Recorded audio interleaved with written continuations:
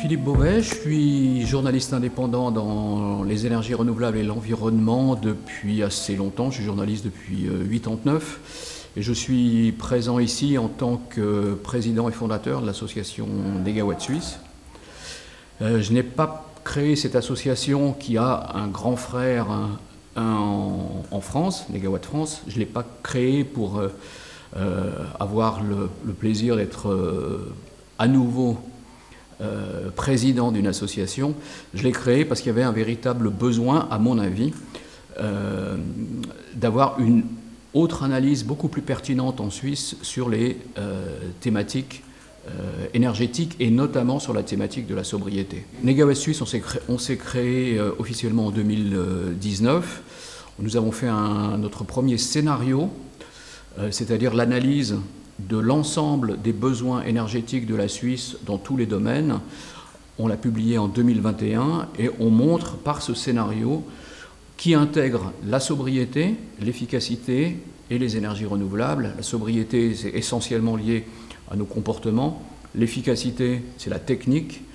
Et quand on a ces deux éléments-là, on se rend compte qu'on peut faire très fortement baisser nos consommations énergétiques et subvenir à l'ensemble de nos besoins uniquement avec des énergies renouvelables. Et ça intègre tous les besoins des particuliers et de euh, l'industrie dans tous les domaines énergétiques, l'énergie étant l'électricité, les carburants et la chaleur. C'est les trois choses dont nous avons besoin tous au quotidien, que nous soyons des particuliers ou des industriels. Alors les freins à la sobriété sont, nombreux, ils existent en France, ils existent dans d'autres pays, d'abord parce qu'elle est, mal connue, notamment par les, par les politiques, elle est souvent vue comme le renoncement, ce qui est tout à fait faux, parce qu'on est aujourd'hui dans une, pour la plupart d'entre nous en tout cas, dans les pays occidentaux, dans les pays d'Europe de l'Ouest, on est, lorsqu'on a un revenu euh, correct et supérieur, on est beaucoup dans l'accumulation, dans le toujours plus. Euh, et la sobriété est vue comme le euh, renoncement. On s'interdirait de faire quelque chose, qui n'est pas du tout le cas. Si on prend l'exemple de la voiture partagée, le car sharing, ce que fait en Suisse une entreprise comme euh, Mobility, c'est pas du tout de renoncer à la voiture, c'est la partager avec d'autres. Et c'est même finalement un certain confort. Parce que vous n'avez pas à vous occuper de l'entretien de votre voiture, c'est Mobility qui le fait. Et vous avez ça dans un tas de domaines. Et la sobriété, c'est vraiment avoir des, comportement beaucoup plus vertueux, un mode de vie qui n'est pas du tout accumulatif, mais qui est aussi de vivre avec les autres, de partager euh, les outils, de, ne pas avoir un, un, appartement trop grand, etc., etc.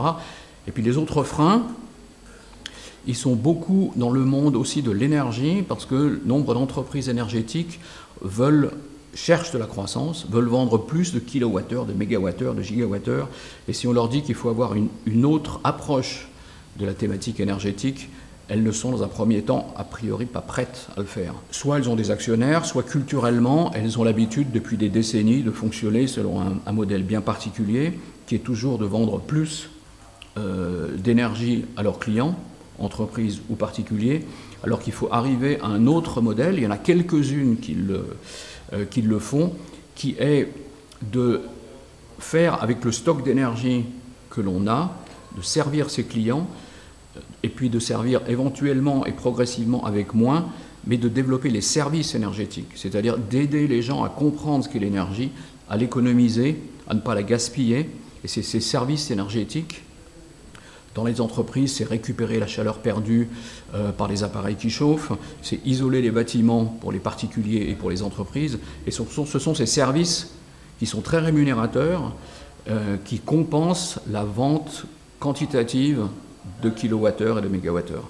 Et c'est vers ce modèle-là qu'il faut aller. Alors je pense qu'il y a une sorte de compréhension un peu maladroite de ce qu'est la sobriété, de ce qu'elle peut nous apporter. Les gens sont pris dans leur quotidien, on est aussi dans une société qui est très technique, donc euh, il faut un peu se battre comme ça contre des freins, euh, des freins sociétaux. Mais je pense que nombre de gens, si la, sobriété était bien expliquée, avec des bonnes campagnes d'explication, euh, que la sobriété prendrait chez beaucoup de gens. On dit en général dans le domaine environnemental qu'un tiers de la population comprend une thématique, un autre tiers est prêt à s'y coller si c'est bien expliqué, si on explique les tenants et les aboutissants, Et là, on a déjà la majorité. Et puis, il y a un tiers qui traînera des pieds, qui ne le fera pas du tout, ou qui le fera en prenant beaucoup de temps. Et je pense que la sobriété, c'est véritablement ça. On est, je pense, pour la plupart d'entre nous aussi dans cette recherche de plus de sens, de partage avec les autres, du moins qui est plus. La sobriété, c'est exactement ça. Mais on se bat aussi contre, contre de grosses habitudes et de gros lobbies économiques qui veulent absolument pas que la donne change. Le levier est, double, c'est-à-dire c'est la population qu'il faut euh, convaincre, donc ça va aussi du bas vers le haut, ce qu'on appelle le bottom-up. Mais la sobriété est un levier qui va permettre d'amener la transition énergétique beaucoup plus vite. Donc il faut aussi convaincre les politiques. Donc c'est aussi les politiques qui doivent devenir exemplaires.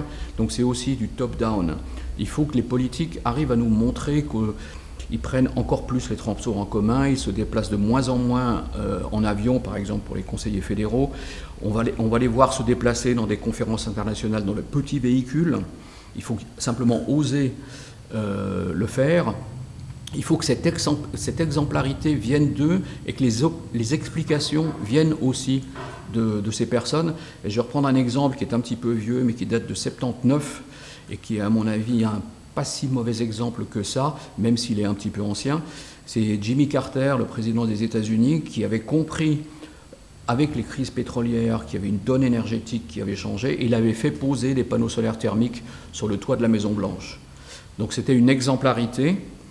Euh, et évidemment, Ronald Reagan, qui a suivi Jimmy Carter, une des premières choses qu'il a, qu'il a faites, c'est d'enlever ses panneaux solaires.